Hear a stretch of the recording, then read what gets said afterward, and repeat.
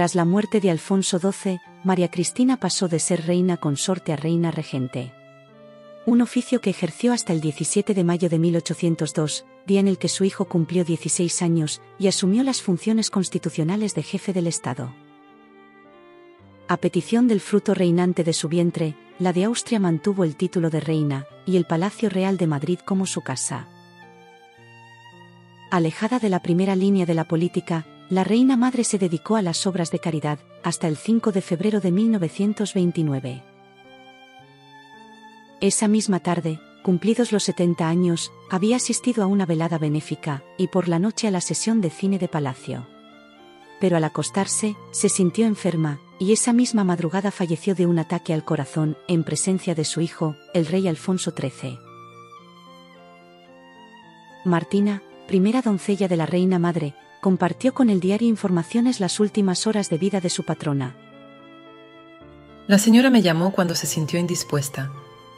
Cuando me acerqué a su lecho, observé que el rostro de la reina se hallaba desencajado, demostrando sufrir bastante me manifestó que sentía un violento y fuerte dolor en el pecho y añadió que al mismo tiempo sentía gran opresión. Con todo cariño, sin presumir la gravedad de su estado, la ayudé a incorporarse en el lecho y entonces la augusta dama se quejó también de un dolor que sentía en la espalda. Para ver si conseguía proporcionarle algún alivio, me procuré unos paños de agua caliente, que apliqué a la mayor solicitud sobre el pecho y la espalda.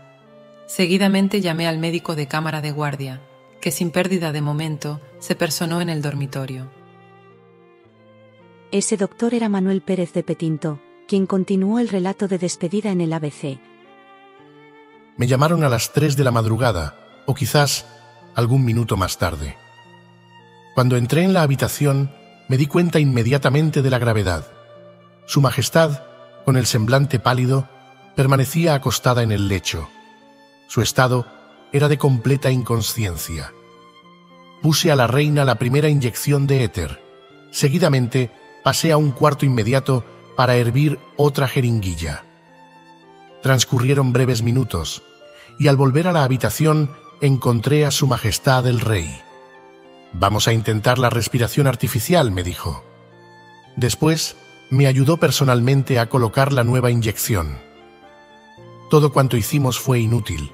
Sucedió todo tan rápido que no puedo pensar en la exacta sucesión de acontecimientos. María Cristina se marchó sin decir una palabra la noche del 6 de febrero de 1929. Después de cerrar los párpados de su madre, Alfonso introdujo dentro del féretro una pequeña bandera nacional, de las que portaban en la proa los barcos de guerra entonces decidió que se copiarían para su progenitora los cultos fúnebres de su padre, y que estaban contemplados en el ceremonial de la Corte de España de 1875. Por la capilla ardiente, instalada en el Salón de Columnas del Palacio de Oriente, pasaron más de 30.000 madrileños. Las noches del 6 y del 7 de febrero, los restos mortales fueron velados en la capilla real por el rey, altos funcionarios y los monteros de Espinosa conocidos como los guardianes del sueño de los reyes, estos eran hidalgos, que por parejas, custodiaban los dormitorios de los reyes. Un privilegio medieval que tiene su origen, cuando un vecino de la burgalesa villa, salvó de la muerte al primogénito de Sancho García, conde de Castilla. Como había sucedido el día anterior, a las seis y media de la mañana del día 8, arrancaron en la capilla las sucesivas misas, a las que asistieron la nobleza, miembros del gobierno, diplomáticos, militares, obispos y arzobispos.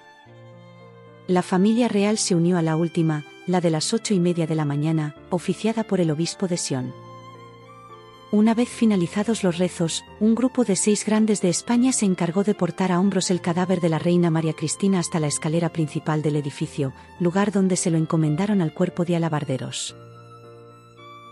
Los guardias embarcaron el ataúd en el mismo coche estufa que tristemente habían ocupado antes las hijas de la difunta, María de las Mercedes y María Teresa. El cortejo que abrigaba a la carroza tirada por ocho caballos oscuros, fue encabezado por el duque de Baena y el inspector de los reales palacios.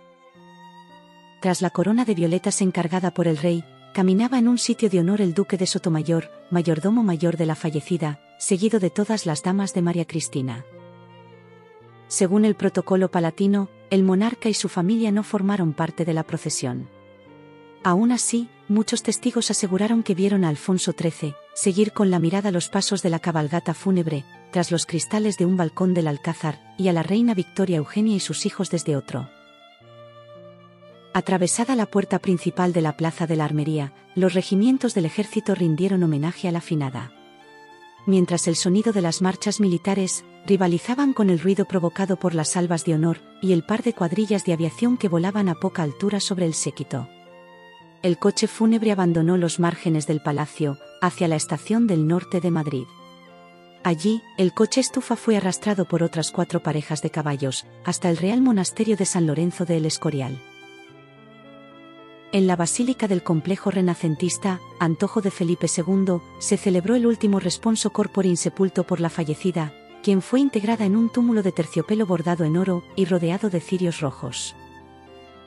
Cerca descansaba el cojín que soportaba el peso de la corona real, encargada por Carlos III en 1775. La misma que desde la jura de Isabel II, se desempolva para todas las proclamaciones de los reyes de España. Terminadas las oraciones, la comunidad de monjes agustinos se ocupó de ingresar a María Cristina, de la que ya eran custodios, en el pudridero. Una habitación que guarda paciente la descomposición de los cuerpos regios, hasta que se reducen lo suficiente para ocupar una de las pequeñas tumbas de mármol oscuro de la cripta real, en la que descansan casi todos los monarcas desde Carlos I de España, y V del Sacro Imperio Romano Germánico. La corte asumió un luto de medio año, y otros seis meses de medio luto. En dos años, Alfonso se quedó solo. La caída de la dictadura de Primo de Rivera en 1930, como bien intuía María Cristina, arrastró a la monarquía un año después dando paso a la República.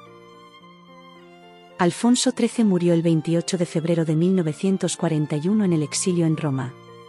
Su mujer, la reina Victoria Eugenia, el 15 de abril de 1969 en Lausana lo que significa que desde hace 138 años, no muere un rey español en España, y desde hace 94 tampoco una consorte.